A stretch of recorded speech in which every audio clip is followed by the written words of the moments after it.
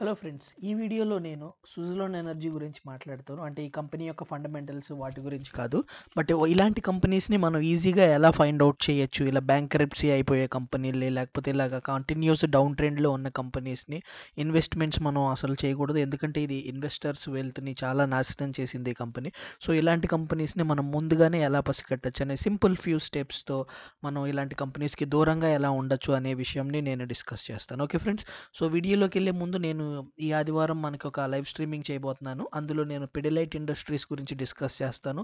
అలాగే కొన్ని ratios interest coverage ratio current ratio అని చెప్పి రెండు రేషియోస్ ఉన్నాయి మనకి. సాల్వెన్సీ రేషియోస్ అంటారు వీటిల్ని. సో ఇవి debt debt to equity related ratios అనమాట సో వాటి గురించి. అలాగే ప్రతి ప్రతి లైవ్ స్ట్రీమింగ్లోనూ నేను మల్టీబెగర్ స్టాక్స్ గురించి small and mid cap stocks గురించి డిస్కస్ చేయబో చేస్తున్నాను కదా. సో ఈ ఈ సెషన్లో కూడా ఈ లైవ్ స్ట్రీమింగ్లో కూడా నేను రెండు మల్టీబ్యాగర్ స్టాక్స్ గురించి అంటే ఫ్యూచర్లో ఇవి మల్టీబ్యాగర్ రిటర్న్స్ ఇచ్చే ఛాన్సెస్ ఉన్నాయి అని చెప్పి వీటి గురించి నేను డిస్కస్ చేస్తాను. అలాగే మీ క్వశ్చన్ అండ్ ఆన్సర్స్ ఏవైతే ఉంటే అవి కూడా డిస్కస్ చేస్తాను. Okay friends so Sunday six PM గుర్తుపెట్టుకోండి. తప్పకుండా లైవ్కి రావడానికి ట్రై చేయండి. ఓకే ఫ్రెండ్స్ సో ఇప్పుడు ఇదే కనుక మీరు ఫస్ట్ టైం మన కంపెనీ మన యూట్యూబ్ ఛానల్ని మీరు చూస్తున్నట్లయితే తప్పకుండా ఇంతకు ముందు నేను చేసిన వీడియోస్ కూడా చూడండి. మీకు తప్పకుండా అవన్నీ కూడా హెల్ప్ఫుల్ అవుతాయి. చాలా వీడియోస్ నేను ఫండమెంటల్స్ మీద టెక్నికల్స్ మీద చాలా వీడియోస్ నేను చేయటం జరిగింది. అలాగే ఇక్కడ ఇందులో చాలా వీడియోస్ నేను చెప్పడం చాలా అనాలిసిస్ కూడా చేశాను నేను. టెక్నికల్ అనాలిసిస్ ఫండమెంటల్ అనాలిసిస్ అలాగే. అలాగే పోర్ట్ఫోలియో మేనేజర్ మేనేజ్మెంట్ సర్వీసెస్ అని చెప్పి ఒక సర్వీస్ మన ఛానల్ తరపున నేను ఓపెన్ చేయడం జరిగింది. సో దానికోసం వివరాల కోసం మీరు ఈ వీడియో చూడొచ్చు. Okay- okay friends. So so ఇక్కడ ఆ వీడియో మీకు లభ్యంగా ఉంటుంది. పోర్ట్ఫోలియో మేనేజ్మెంట్ సర్వీసెస్ అని. ఓకే? సో ఇప్పుడు వీడియోలోకి వెళ్ళిపోదాము. సో సుజులోన్ ఎనర్జీ గురించి చాలామంది అడిగారు నన్ను చాలామంది అడుగుతున్నారు. ఎంతో కాలం నుంచి లాస్ట్ ఫ్యూ ఫ్యూ ఇయర్స్గా ఈ ఈ స్టాక్ నేను ఎన్నో ఎన్ని ఎక్కువ సార్లు విన్న స్టాక్ ఏదంటే కనుక సుజులోన్ ఎనర్జీయే. చాలామంది ఇందులో ఇన్వెస్ట్ చేయొచ్చా? లేకపోతే ఎక్కువ మంది ఇందులో మేము ఆల్ ఆల్రెడీ ఇన్వెస్ట్ చేసి ఉన్నాము అని చెప్పడం ఇలాగా. ఇప్పుడైతే ఆల్మోస్ట్ ఇది అందరికీ తెలిసింది సుజులోన్ ఎనర్జీలో మనం ఇన్వెస్ట్ చేయకూడదని.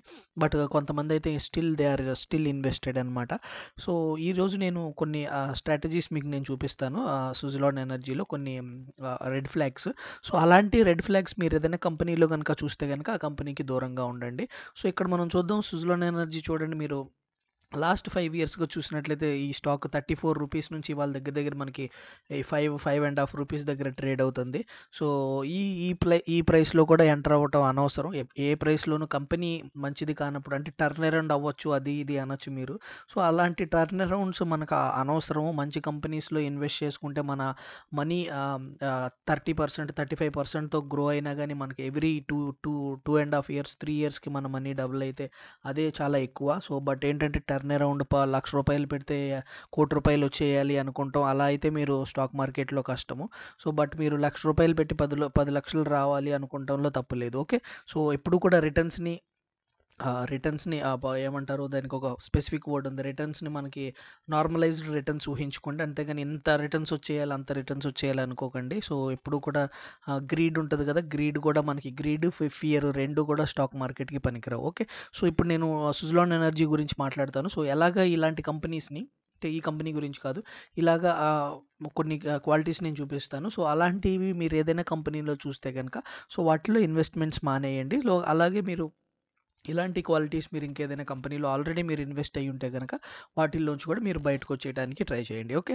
సో ఇది చూడండి నేను బ్యాలెన్స్ షీట్ చూపిస్తాను. సో మనకి బ్యాలెన్స్ షీట్కి వెళ్ళి యాన్యువల్ రిపోర్ట్స్లోకి వెళ్ళే అవసరం లేదు. నేను మీకు స్క్రీనర్లో సింపుల్ మెథడ్గా ఎలాగ మనం ఈ కంపెనీని అనలైజ్ చేయొచ్చు బ్యాలెన్స్ షీట్ ఎలా అనలైజ్ చేయొచ్చు ఇది చూపిస్తాను నేను మీకు. సో ఇక్కడ మనకి ఇక బ్యాలెన్స్ షీట్ సెక్షన్ ఉంటుంది స్క్రీనర్లో. ఓకే? సో ఇక్కడ మీరు చూడండి షేర్ క్యాపిటల్ అని ఉంది ఇక్కడ షేర్ క్యాపిటల్ అని. సో దీన్నే కొంతమంది ఈక్విటీ అని కూడా అంటారు. సో ఈ షేర్ క్యాపిటల్ చూడండి కంటిన్యూస్గా ఇంక్రీజ్ అవుతుంది. సో టూ థౌజండ్ ఫోర్టీన్ నుంచి చూసినట్లయితే ఇంక్రీజ్ అవుతుంది. దీని అర్థం ఏంటంటే ఇంక్రీజ్ అవుతుందంటే వీళ్ళు ఏదైతే క్యాపిటల్ వీళ్ళకి ప్రమోటర్స్కి ఏదైనా క్యాపిటల్ ఇందులో ఉందో షేర్ క్యాపిటల్ని డైల్యూట్ చేసేస్తున్నారు అంటే ఈ క్యాపిటల్ని అమ్మేసుకుంటున్నారు. షేర్ ఏదైతే వాళ్ళకి ఉందో ఆ కంపెనీలో ఏదైతే మనకి ఈక్విటీ ఉందో ఆ ఈక్విటీని డైల్యూట్ చేసేస్తున్నారు. అంటే నీ డైల్యూట్ చేయటం అంటే పలసపడే పలస చేసేయటం. పలసపడి చేసేస్తే ఏమవుతుంది? క్వాంటిటీ పెరుగుతుంది. అంటే డైల్యూ ఈక్విటీని అమ్మేసుకుంటున్నారనమాట సో ఏదైతే ఈక్విటీ ఏదైతే ఈక్విటీ ప్రమోటర్స్ కింద ఉందో దాన్ని డైల్యూట్ చేసేసుకుంటున్నారు. సో ఇది ఇది చాలా రెడ్ ఫ్లాగ్ ఏ కంపెనీస్కి మీరు ఏదైనా వేరే కంపెనీలోకి వెళ్ళి చూడండి. ఫర్ ఎగ్జాంపుల్ ఏదో మనం నిన్న డిస్కస్ చేసిన కంపెనీస్ లేకపోతే ఐషర్ మోటార్స్ లేకపోతే చిన్న కంపెనీస్ అయినా చూడండి. ఏదో ఒక కంపెనీ చూడండి. ఫర్ ఎగ్జాంపుల్ నేను ఇక్కడ మనం ఎన్నోసార్లు డిస్కస్ చేసిన వి విఐపి ఇండస్ట్రీస్ చూ చూస్తాను. సో అందులో ఈక్విటీ క్యాపిటల్ ఎలా ఉందో ఒకసారి చూద్దాం. మీకు సింపుల్ ఎగ్జాంపుల్ um, కోసం ఇక్కడ చూడండి. E-, ఈక్విటీ క్యాపిటల్ కాన్స్టెంట్గా ఉంది. ఇక్కడ ట్వంటీ ఫైవ్ నుంచి ట్వంటీ ఎయిట్ అయింది. పర్లేదు. మరి ఎక్కువ డైల్యూషన్ అవ్వకూడదు. సో ఇక్కడ చూడండి. కాన్స్టాంట్గా ఉంది. Twenty eight twenty eight twenty eight అని. అలాగే కొంచెం డైల్యూట్ అవ్వచ్చు. కానీ ఇక్కడ చూడండి ఎంత ఎంతలాగా డైల్యూట్ అవుతుందో. టూ నైంటీ నుంచి ఇక్కడ కాన్స్టాంట్గా ఉంది. త్రీ ఫిఫ్టీ ఎయిట్ నుంచి మొదలుపెట్టింది. కంటిన్యూస్గా డైల్యూట్ డైల్యూట్ చేసుకుంటూ వచ్చేస్తుంది కంపెనీ అంటే వాళ్ళ స్టేక్ని కంప్లీట్గా ఈక్విటీలో వాళ్ళ స్టేక్ని కంప్లీట్గా వాళ్ళు డైల్యూట్ చేసుకుంటూ వచ్చేస్తున్నారు అని దీని అర్థం. సో ఇది one of the major red flag so but some instance ఉంటాయి ఎక్కడ మనకి అయితే ఫండ్స్ ఎప్పుడైనా అవసరం వచ్చినప్పుడు కంపెనీలో కొంత పోర్షన్ ఈక్విటీలోంచి తీయటం మంచిదే. బట్ అది కాన్స్టెంట్గా పెరుగుతూ పెరుగుతూ ఇలాగ మాత్రం ఉండకూడదు అనేది నా అభిప్రాయం. ఓకే? సో ఈక్విటీ డైలే డైల్యూషన్ పద్దాక తప్పని నేను అన్ను బట్ ఇలాగ కాన్స్టెంట్గా పెరుగుతూ పెరుగుతూ ఈక్విటీ మొత్తం మనం అమ్ముకుంటూ కూర్చోకూడదు అనమాట సో ఓకేనా? సో ఇది మేజర్ రెడ్ ఫ్లాగ్. ఆ తర్వాత చూడండి రిజర్వ్స్ చూడండి ఈ కంపెనీకి టూ థౌజండ్ థర్టీన్ నుంచి.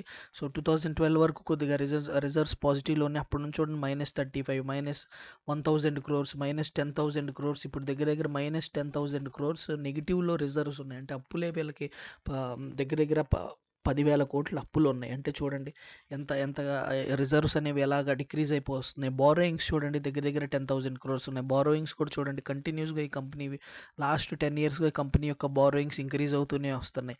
సో అది కూడా మనకి సీరియస్లీ రెడ్ ఫ్లాగ్. ఓకే గుర్తుపెట్టుకోండి ఇలాంటి కంపెనీస్ని ఇలాగా ఇంత వీక్ బ్యాలెన్స్ షీట్ ఉన్న కంపెనీస్కి ఎప్పుడు కూడా మీరు ఇన్వెస్ట్ చేయడానికి ట్రై చేయకండి. ఓకే టర్న్ అరౌండ్ అవుతాయి అవి అది అవుతాయి.